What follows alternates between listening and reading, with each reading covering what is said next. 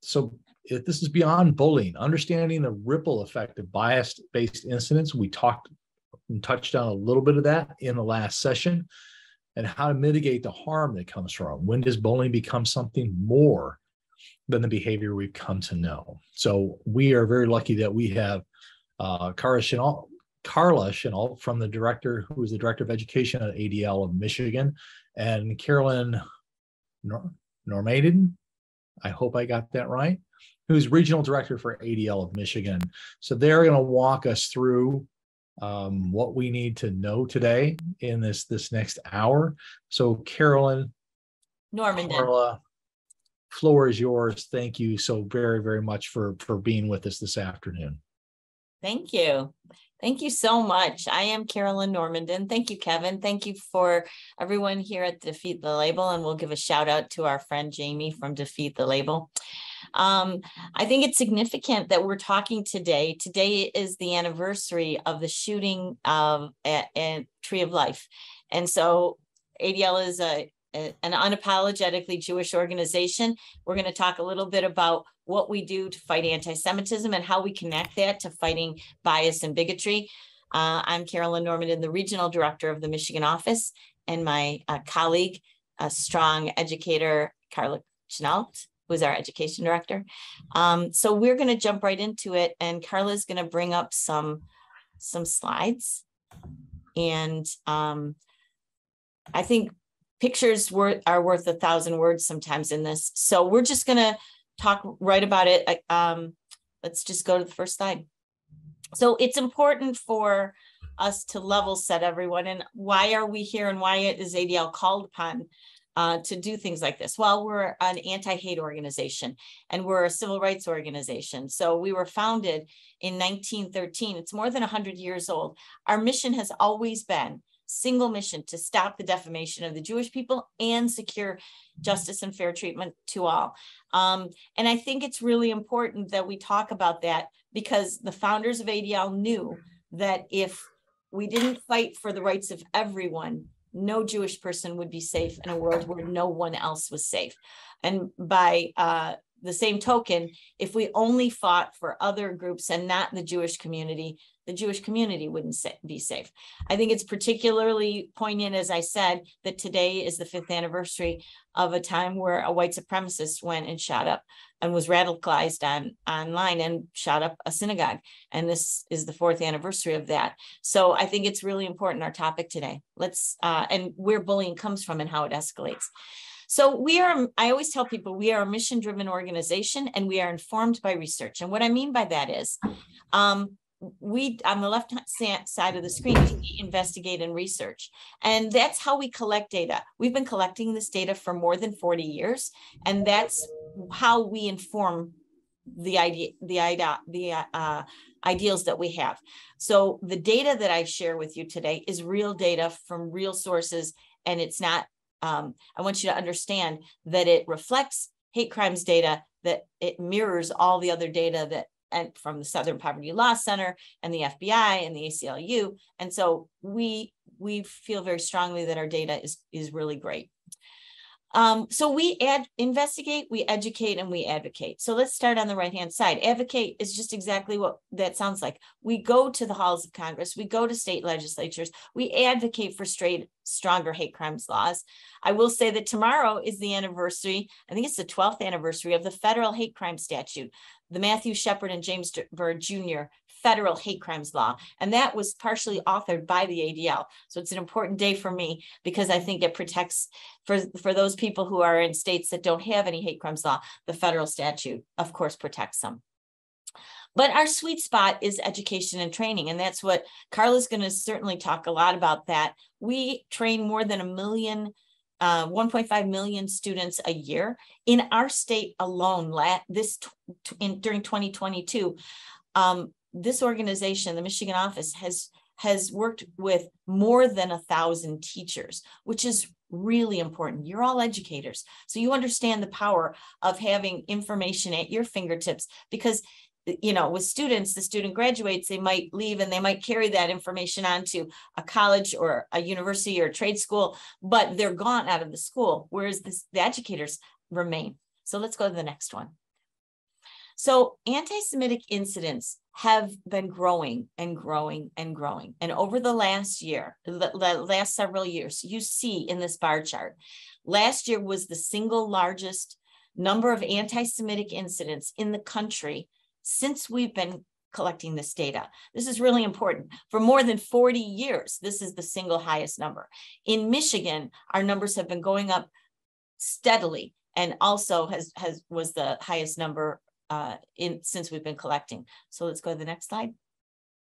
So this kind of tells the Michigan story. So you see in 2017, there were 61 incidents. In 2020, in, I'm sorry, in 2019. In 2020, it was during COVID, so there weren't as many um, incidents of, of vandalism or assault, but you could see that the incidents of harassment online particularly grew exponentially. And as people got really, really fearful and, and tired of the pandemic in 2021, we had the largest number of incidents.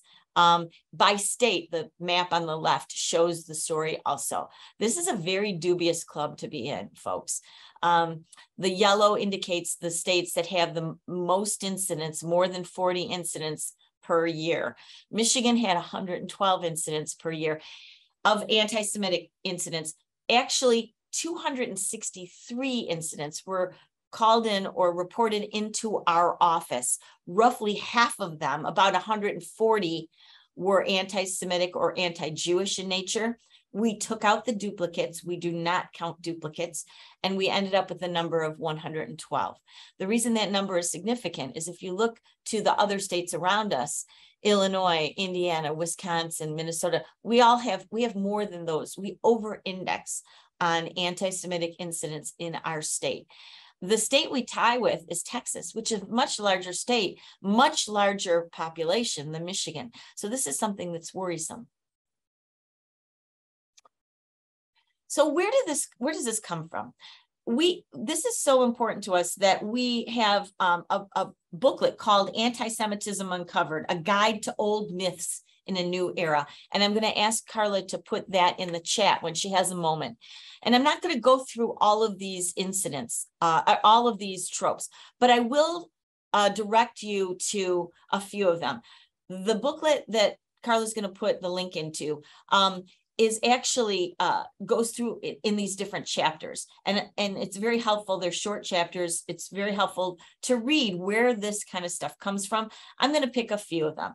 The one on the very left the the common stereotype of power or jewish power the idea that jewish people own the banks own disney own the media or it's just about the jewish power. That really can be traced back to more than 150 years ago to the eight late 1800s um, to a Russian conspiracy group that, that put together uh, a, a, a, Russian group that put together a conspiracy called the Protocols of the Learned Elders of Zion. This is a real book, and it tells the story of a secret meeting, a cabal. Does that sound familiar? A cabal secret meeting about world domination, taking over the power.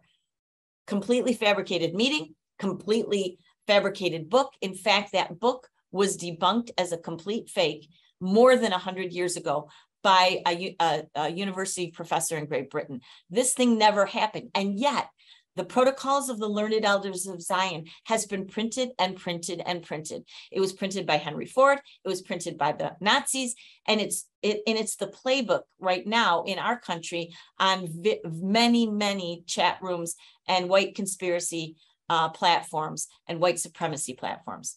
Another one I'm going to bring your attention to is the idea of Jewish greed. You see that as the third one from the left.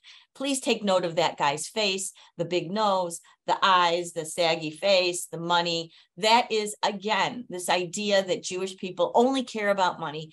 It started to take shape um, in like you know in the early middle ages when jewish people were not often not allowed to own land so they went into the merchandise business or they um, they were tax collectors so they became hated. I mean who doesn't hate the tax guy? Um, and so this idea that jewish people were surrounding themselves with money came out of there. And then the third one i'm going to call out is the blood libel. That's the one that's third from the right. This is an extremely prevalent anti-semitic trope A trope is just a myth or a story. This came from the 11th century. A monk named Thomas Monmouth was trying to come up to quell the concern in the small little town that they lived, he lived, um, because there had been a mysterious death of a Christian child. We don't know the the boy could have fallen out of a tree. He could have had a heart attack. He could have had an aneurysm. Nobody knows why this boy died. But Thomas Monmouth came up with this idea that Jews must have killed them because Jews use blood in their rituals. Nothing could be farther from the truth. Jewish people don't use blood in their rituals. They certainly don't use the, the blood of Christian children. They don't harvest organs or any of the other shenanigans that is covered by the blood libel or the idea that Jews bring disease or any of that. So those are just three of these tropes. You're going to see them as we go along. Let's go to the next slide well you see two of you see two tropes in the middle on the on the right hand side um, you see this black lives matter this sort of oafish big gorilla type person, um, black person um, with a caricature of a black person, caricature of the the the happy merchant, the guy with the big nose. The idea that Jewish power is is kind of infiltrating the lives of people. This is a current meme that's up there. People ask me all the time, why do these myths get promulgated. There are three main reasons, I think, for the rise in anti Semitism and other forms of hatred. And I have a colleague at ADL that says anti Semitism doesn't always start with the Jews, it always comes back to the Jews. So things like the COVID 19 pandemic completely started focusing attention on the Asian community, wrongly so. The idea that Chinese people brought COVID 19 to the shores of the United States, completely wrong. And yet it got promulgated on the internet. It got motivated by social media.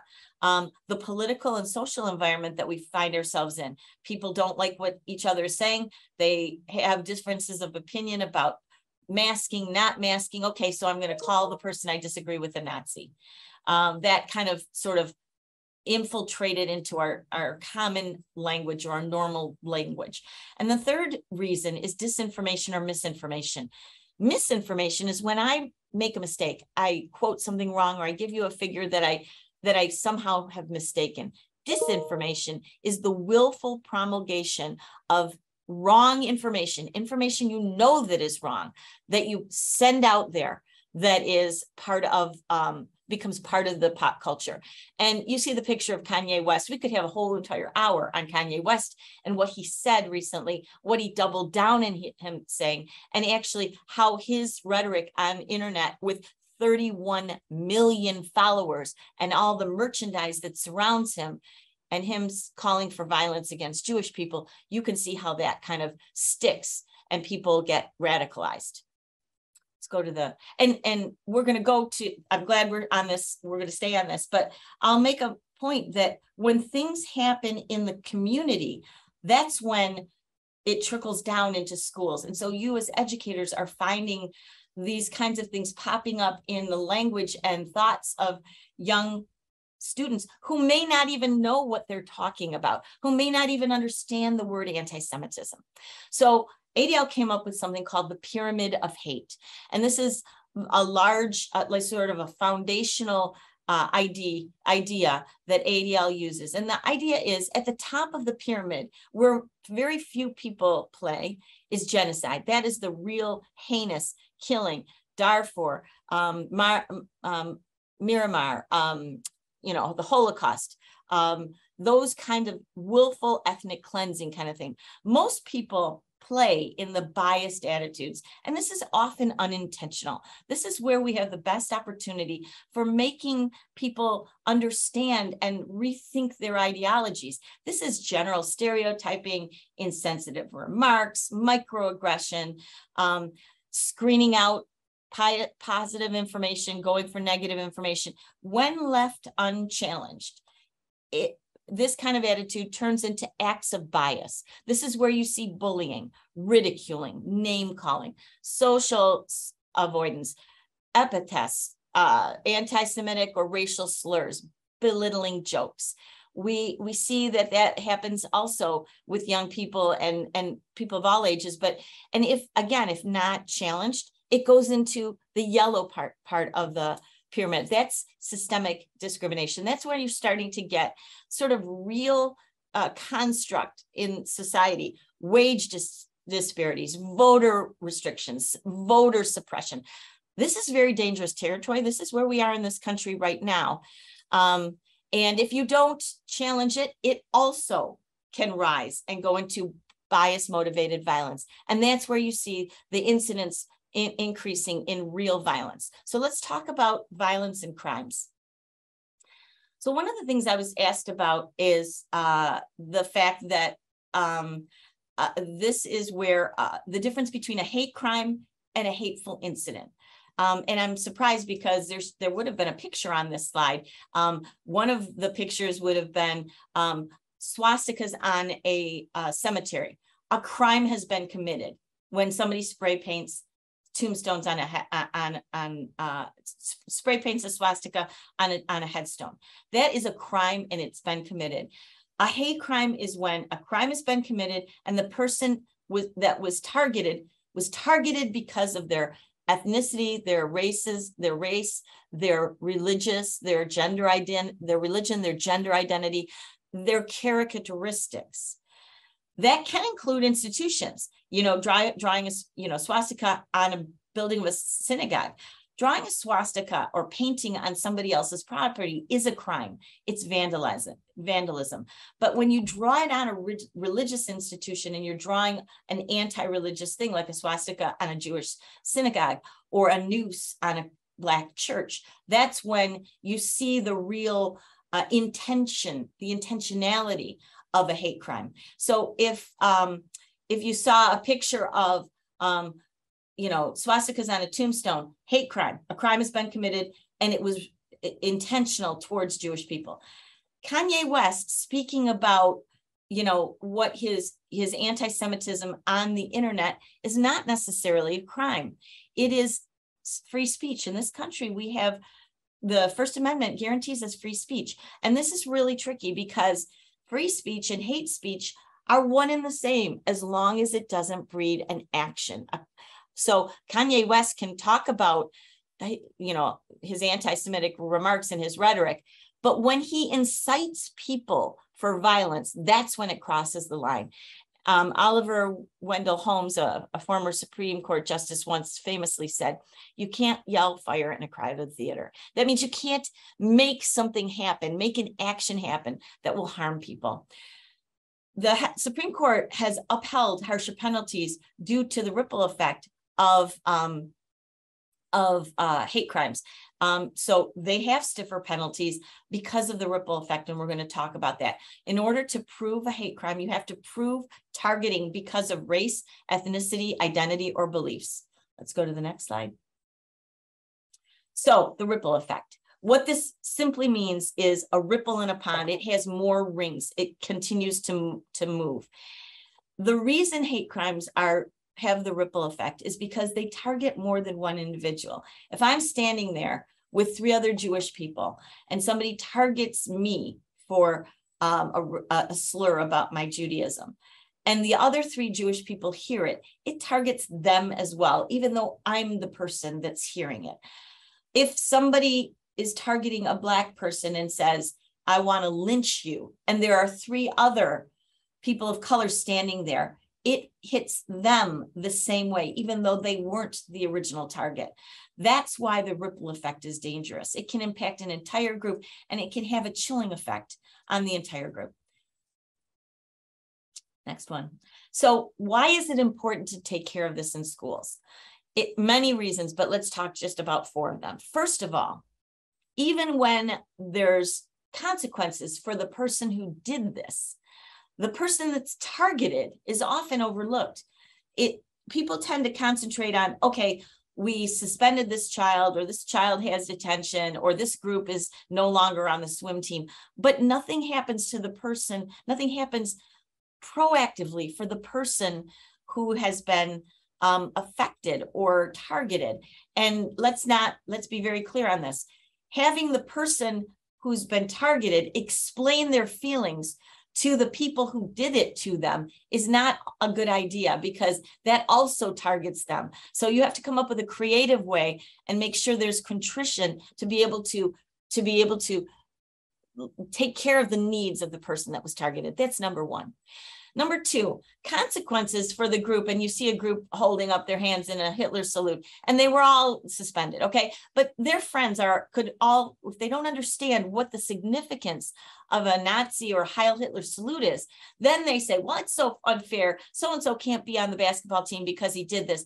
Nobody really even cares about that the consequences can be misunderstood if the whole school or the whole group that witnessed it doesn't understand the significance of it. The others around the targeted are often ignored. I, I talked about that in a, a minute ago. And then the most important thing is transparency on why this is wrong is the way to get to the learning moment. So I'm just going to share with you very quickly a case study meet Cheryl Thomas, the school principal of Linden Middle School. She, her students are the ones in the in the top picture. Now, ADL does not come in with pitchforks and torches to schools. Um, and in fact, most of the time, if an incident is reported to us, unless it's in the media, we don't talk about it. We deal with it with the school. Carla has had many counseling sessions where with a, a, school administrator or a teacher or a guidance counselor that's trying to wind, you know, navigate their way through an incident of hate. And nobody even knows about it in the public because it has not become public. Once it becomes public, then we do speak out. And Cheryl, we contacted her after a member of the media sent me this picture. And all I did that day was say, Dear Principal Thomas, you don't know me. I'm with the ADL. I'm giving you a link to a booklet. Take a look at page 18. You'll see how to deal with a Nazi gesture. If you want to talk to me, you can call me. And she did very quickly. Over the weekend, me and my, my colleagues talked with Principal Thomas several times. By Monday, she had a plan and she put her entire middle school, the sixth, the seventh, and eighth graders, through a curriculum that was designed by ADL to talk about why it's wrong to do Heil Hitler. And now she's continued that work. She's had uh, her school is going for a no place for hate designation. Carla's going to tell you all about it.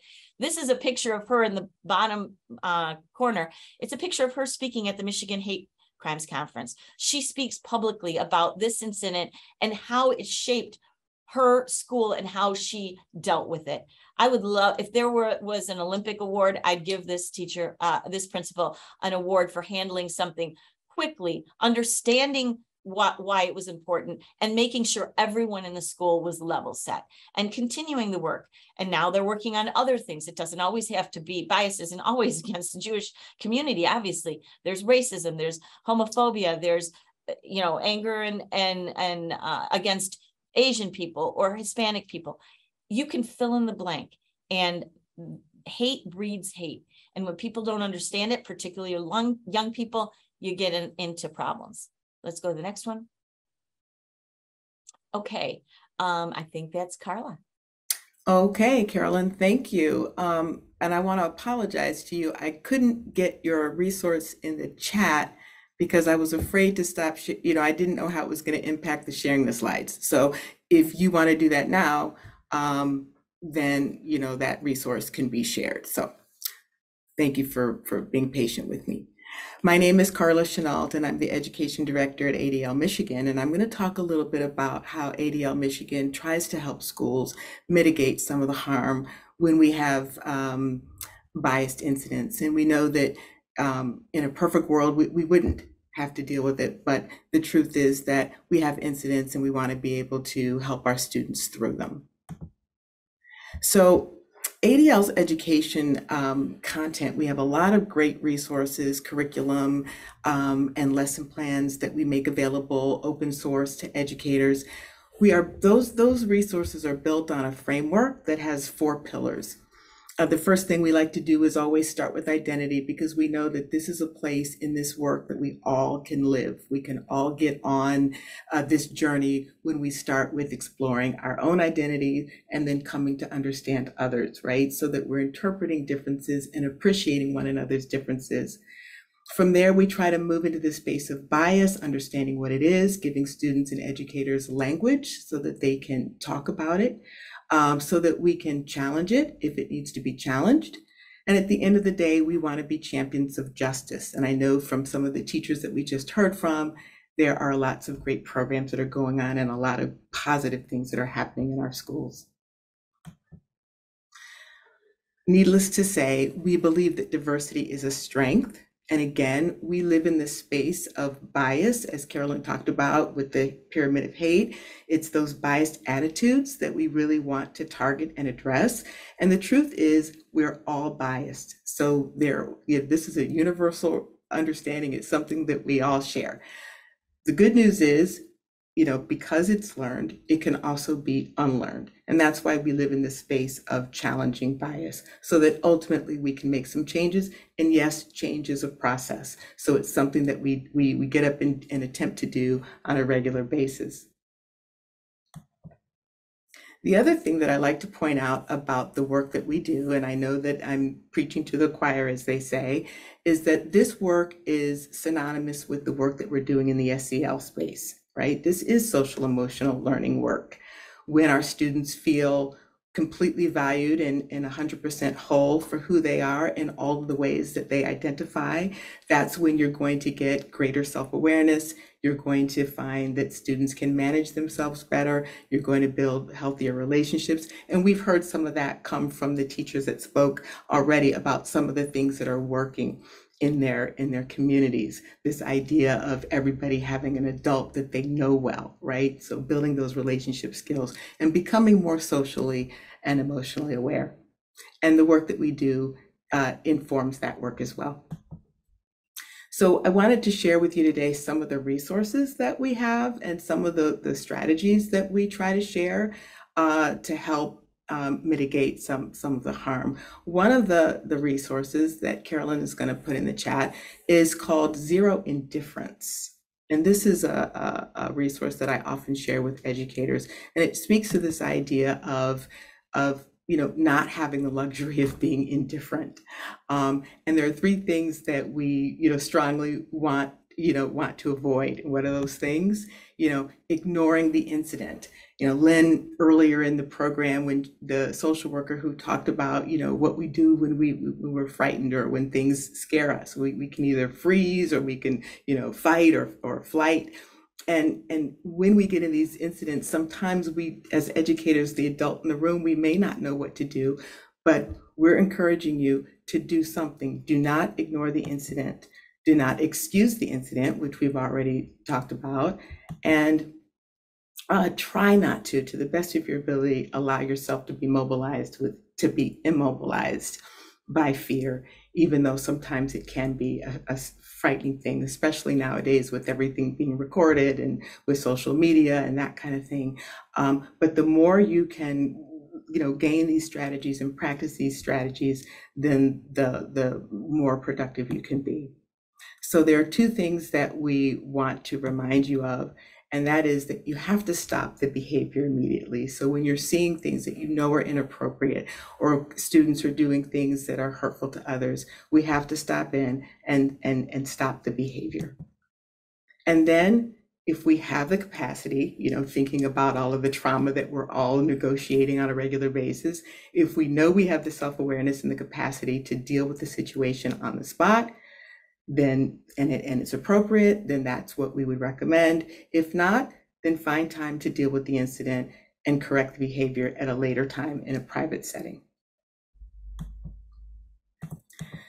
None of these situations are exactly the same, and we realize that. And, and, and if they were, it would it would be easy, right? We could do one, two, three, and it's solved. And it doesn't work that way. So we we do say that you know every situation is different, but here are some things you want to think about you always want to think about the needs of the targeted student uh, or student. Um, Carolyn spoke a little bit of, about that, right? We want to appreciate that even if the intent wasn't to be harmful, there is and is oftentimes harm, harmful impact. You also want to think about the time that you have to really address the issue. If you're running from class to class or you know that something's about to happen, the bell is going to ring, maybe you decide to, to deal with the incident later on when you can sit down and really, you know, unpack things. the location of where things happened. Was it public? Were there other people there? Was it private? Is it something that you can, you know, just deal with one on one? The age, of course, of the students that are involved. And then we talked about this earlier. Is this an isolated incident or is there a pattern of bullying, right? We know that those are slightly different. So understanding the context of how you want to move forward. We have another resource that is very helpful that I'd like to share with educators.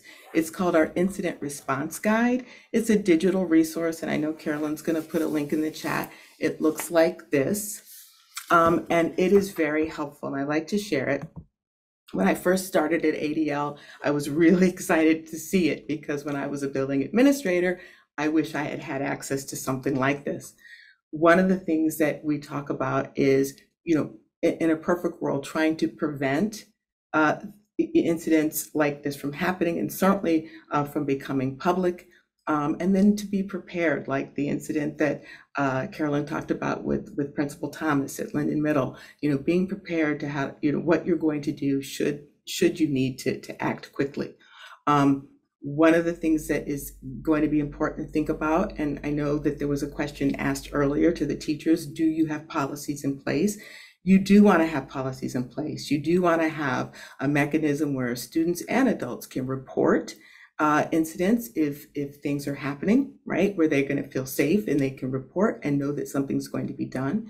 You want to act quickly and have a response. Um, you want to communicate. That transparency is very important, right? Getting the narrative because if you don't, you know, you run the risk of somebody else creating the narrative or for misinformation to to uh, to, to move forward. And that's never helpful. And then at the end of the day, we want to be educating. We are schools, we are educators, and we want to heal. Um, so the other uh, bit of information you'll find in this guide is sort of the tips, you know, for intervening when you have to. And we've talked a little bit about this, some strategies for de-escalation, I think were brought up along the way today. But we have six simple strategies I quickly wanted to share, you know, assuming good intent, but making sure we're explaining impact, asking a question. Sometimes, oh, what did you mean by that? To kind of diffuse a situation, interrupt and redirect. Sometimes it helps to broaden to the to the universal. Oh, are you saying that all people do that? And then correcting that level of thinking or make it an individual situation. Oh, yeah, I know that so and so is always late, but that doesn't mean everybody is. Or simply, ouch, that hurt. And so those are some some simple strategies that we can even teach our students that that that help to kind of react in the moment in a way that's not too difficult. And then the other piece of the guide that is very helpful is how to turn some incidents into teachable moments. And so if you have the guide, and, and I hope that you're grabbing it out of the chat, um, and I know that Jamie will send these resources after today, um, you'll find that on page 16, we have a, a series of uh, anti-Semitic in, incidents that can be uh, looked at. And inside the book, you'll see the historical context of why uh, the Heil Hitler salute, like we talked about in the example at Linden Middle, is, is, is not okay, and helping students understand why that is. There's discussion questions that you can go through, there are additional resources that you can look at. Same thing with racist incidents, the N-word, nooses, why we don't compare you know, African Americans to, to monkeys, right? Why that's not okay. And I know that kind of thing is happening because I meet with schools, and it's surprising that that these things do happen, but our students don't always know, and we have to teach. And then, of course, we have uh, resources for, you know, anti-immigrant bias, anti-Muslim bias, anti-LGBTQ bias, ableism. So that's a really good resource, and we'll make sure you get a copy of that. Last but not least, I want to speak about our school climate program. So I've heard a couple of the teachers today name some things that they find are really working, and I think that's great. One of the teachers is in the West Bloomfield district. We are currently working with West Bloomfield. West Bloomfield Middle is using our No Place for Hate, and so is Swan Valley Middle. So was, I was happy to see that uh, those districts have Teachers of the Year. I'm going to quickly show this video on the No Place for Hate program. Place for Hate makes my campus a more friendly and enjoyable place. It's created a climate of respect and compassion that we can be very, very proud of here. I think No Place for Hate should be a core subject in every school. If we don't know how to take care of our peers, then how are we going to build the next generation?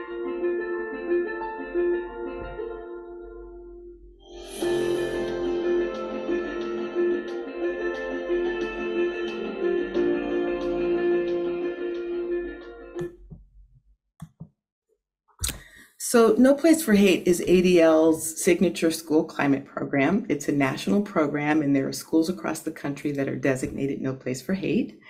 Um, what makes it unique is that it is a student empowered program. So, the work is really coming from the students, the student voices. Um, and, and it's a framework. So, if your school is already doing uh, Defeat the Label, or Positivity Project or Leader in Me or the other you know programs that I've been hearing about today, you can still be a no place for hate school because it's a framework that kind of you know puts an umbrella around the work that you're already doing. And the idea is what we're talking about today making safe places for our students combat combating bullying bias and and uh, bigotry so how do you become a no place for hate school well, the first thing that we tell schools is you need to have a student committee because this is student work, even at the younger ages. We want the committee to be uh, run by students, voiced by students. We want to hear from them, kind of like what we heard today from Jennifer, who surveyed her students. And I heard another teacher say that they're giving the students, you know, the opportunity to run the clubs. We need to get our students seen and heard, and we need to get their voices around this work. And that's what this program does. So we start with a student committee. We encourage them to do a survey of their peers. From there, we encourage them to do a school-wide pledge event. And again, school-wide. So all of the students, educators, certainly involve parents, if that makes sense. As many people that know what you're doing, the better. Our pledge is very accessible. We have an elementary school and middle school and high school pledge. And we're simply saying, you know, and, and, and striving to be people who will promise to do our best to treat others fairly, for instance. Or if we see someone who's being hurt or targeted or bullied, we're going to let an adult know and, and so forth. From there, a, a school will allow their committee to plan three activities. They'll have the school year to do the activities. Um, the idea is that those activities then are going to reach their peers so that the learning takes place across the school uh, community and that all of the students are included and uh, involved in the learning that we're talking about, educating on these things. And from there, you get to celebrate your success. And it was funny because in the panel discussion, we ended with celebration, didn't we? We ended with what are the things that are positive.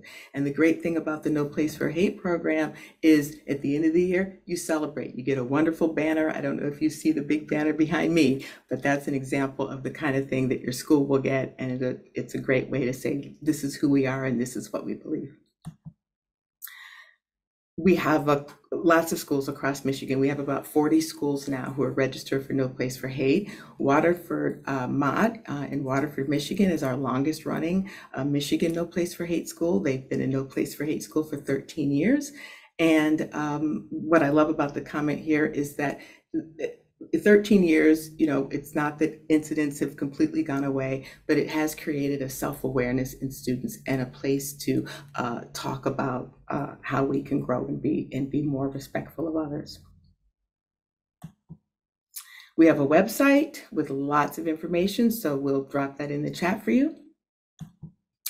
And I'm going to wrap up with just sharing a few of the other opportunities that ADL uh, has has for educators, so that you know that we are sincere in our in our interest in partnering with you.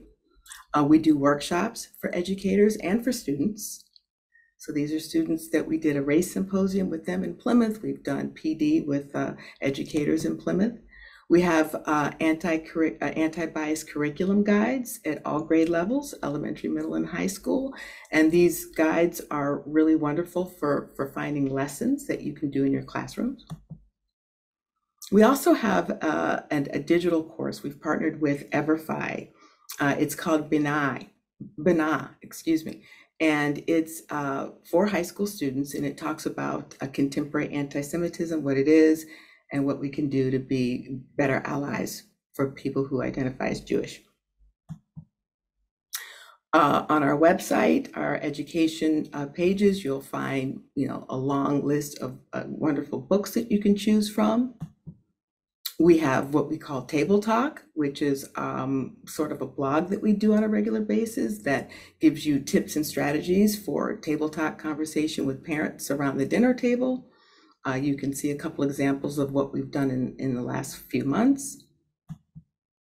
And then you get support from ADL. So I'm the education director here in Michigan, but we have education directors across the country. And our jobs are to partner with you and to provide all of the resources that we have so that you hopefully will have what you need to address some of what we've been talking about today.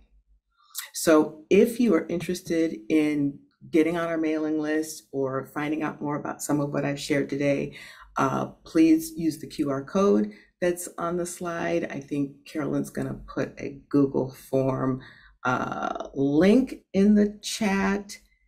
And we appreciate it. We appreciate this opportunity. Jamie, thank you so much for inviting us to speak today. Carla, Carolyn, we appreciate both of you being with us um, today.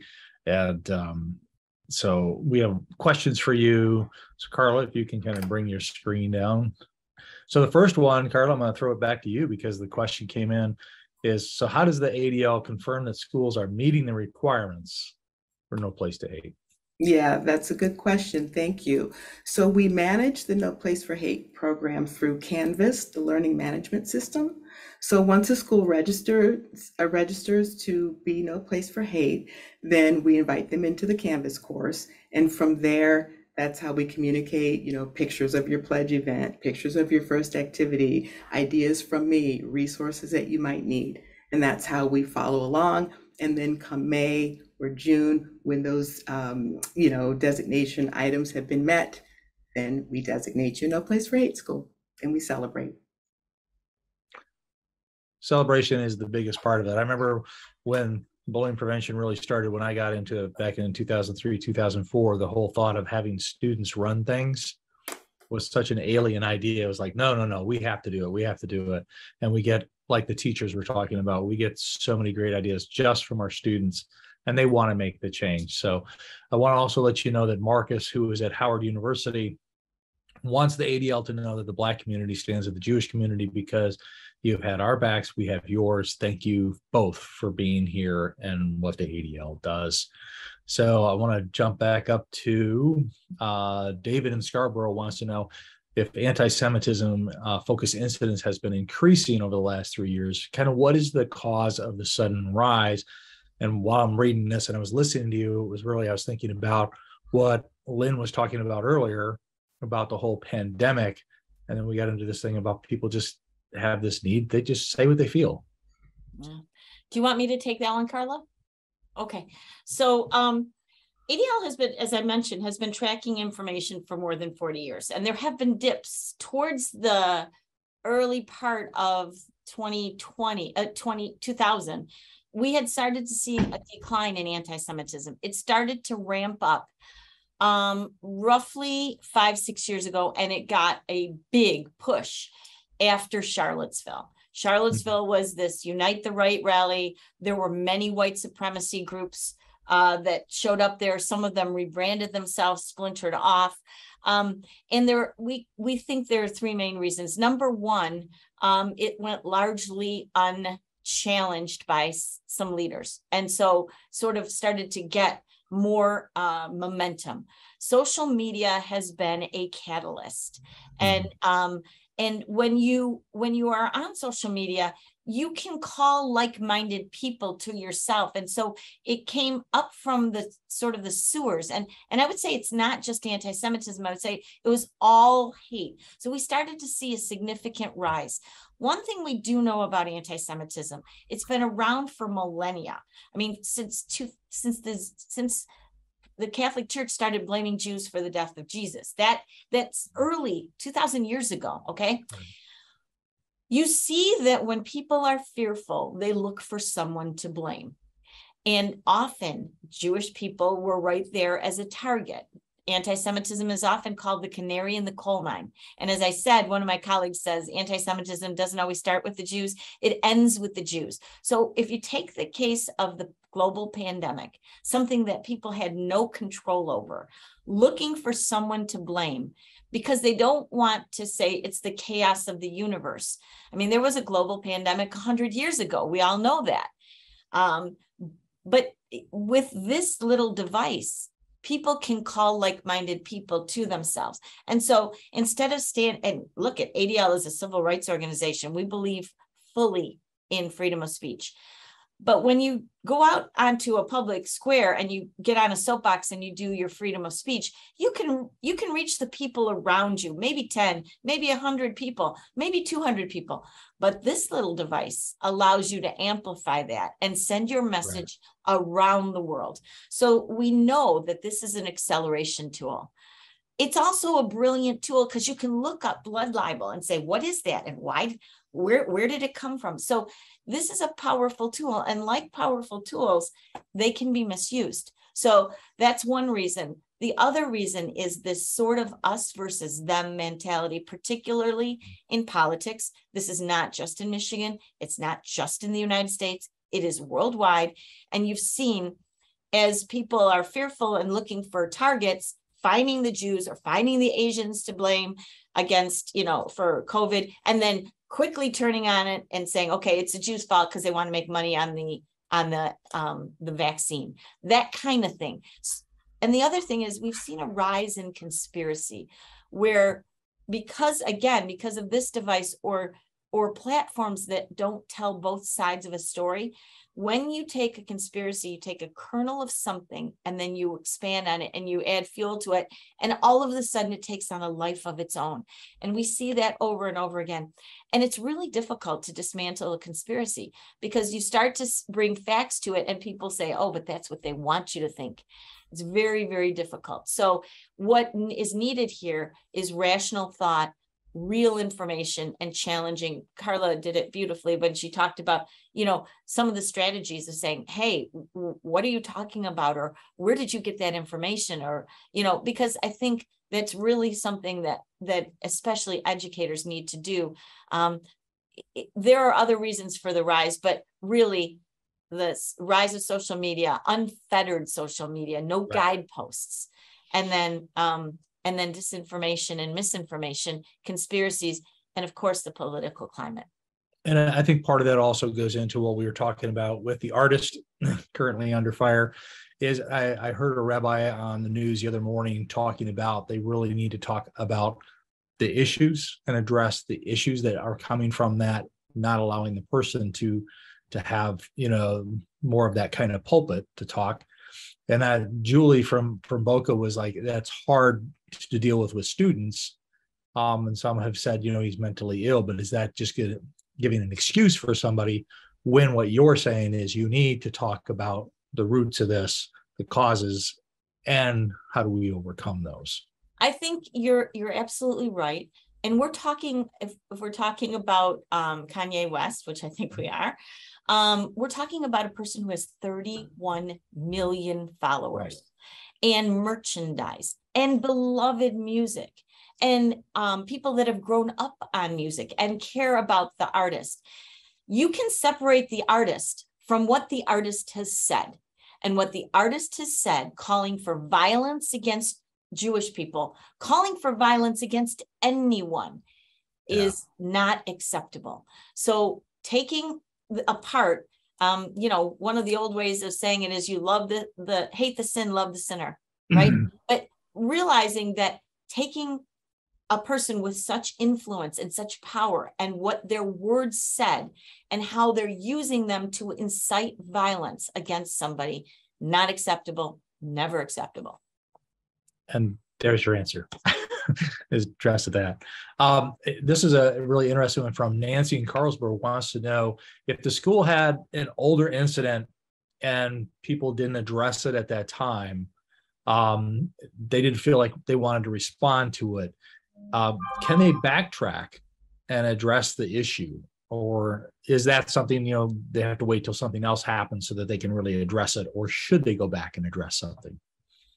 Yeah, that's an interesting question. I mean, if I'm a school administrator thinking about that, um, I don't know that I would necessarily go directly back to the incident and try to unpack it again because I don't know contextually what has changed, who in the community is still there. But if I know that it happened, I can pretty much surmise that it's happened before and it'll happen again.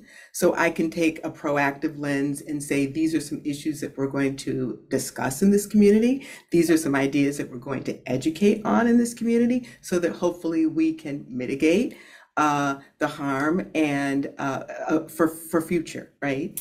Yeah.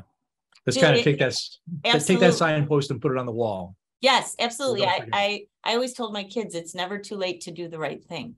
And I agree with Carla uh, completely. I mean, she's our education director, so I always defer to her. But talking about anti-Semitism and where it comes from, or talking about swastikas or or um uh, uh it's calling somebody a Nazi or or talking about a noose in general. Not to say talking about the incident where the noose was left, but why is it not okay to leave nooses? Why is it not okay to do, you know, uh, Heil Hitler's? And why is it not okay to target somebody uh, because of their ethnicity? That I think is a very general thing, and that never goes out of style. And Yeah. thinking too about, you know, I've been sharing with the educators that I've met with in the last few weeks, you know, Halloween is often a time where we see, you know, students making poor choices, right? So talking about that in advance and, and reminding them the importance of, you know, what, what you're using and your costumes and how you react and so forth, it matters. Um, and that kind of went into Brianna from Boulder also was, uh, even though Tree of Life was a synagogue and the shooting in Charleston was at uh, Emanuel A- A- African African Methodist Church, those were both targeted events. You know, they're both biased events. So um, uh, even though they're different religions, they still fall into that that bias category. So for her, it was good for her to ask that question earlier while you were going through this. That's Um, really, really important, Kevin. What was that person's name? Uh, that was Brianna. Brianna, great, great analogy. You see radicalization and it, it the, the, the, the majority, like 95% of the shootings, the killings, the murders in our country are at the hands of white supremacists. And white supremacists hate black people, hate Jewish people, hate Hispanic people, hate Asian people. Uniquely, that is one of the characteristics, the one of the things they share in common. So whether it was Christchurch Mosque in New Zealand, whether it was AME Church in uh, North Carolina, Tree of Life, El Paso Walmart, it doesn't matter. The the ideology, the promulgation of the hate is usually in this country, the domestic terrorism is at the core of it. And the thing that is in common is that they hate all people who are non-white European. That's that's at the core of it. Um, so you can take those analogies and see how they're being radicalized to hate the other. And that includes, of course, members of the LGBTQ commu- community, you know, the Pulse nightclub. They're all, it's all, it's, it, it's all the same extremists. Right. Yeah. So go back on a positive note. So for Carla, last question, we'll kind of wrap this session up is uh, Betty in Birmingham wants to know, can we partner No Place uh, for Hate with other anti-bullying programs like Defeat the Labels, Upstander, or something else? And how do they mesh together? Yeah, that's a good question. I appreciate that. Birmingham, you're on my list, so hopefully we'll get a chance to meet. Um, but yes, I mean, no, no place for hate is more of a framework because a lot of what schools are doing already fall within the bailiwick of what you know we we, we are deeming um, no place for hate activities. So if you're already doing these kind of activities, then this is a great way to kind of celebrate, make it visual. We do banners, we do wristbands, you know, we have you know cell phone um, you know, pockets, that that kind of thing. Um, we have schools uh, that do No Place for Hate that also do Positivity Project. And they use Positivity Project for the daily. They Right. use No Place for Hate to go deeper. So absolutely, um, it can be done. Jamie and I are going to meet next week. We're going to have lunch. We're going to talk about the schools who do defeat the label and talk about how it dovetails with No Place for Hate. So absolutely, and I'd be happy to talk more about it. Okay, great. Communication, collaboration. You know, we come at it all from different angles and, and use all the information we can. So Caroline, Carla, we thank you both for being here. We thank you for what the ADL does, not across just Michigan, the United States, globally, how you reach out. So thank you for all the materials that you gave everyone here today. And I think we are going to move into a very quick break to get our next presenter all set up. But thank you so very, very much for everything you, you do and what you've given us today.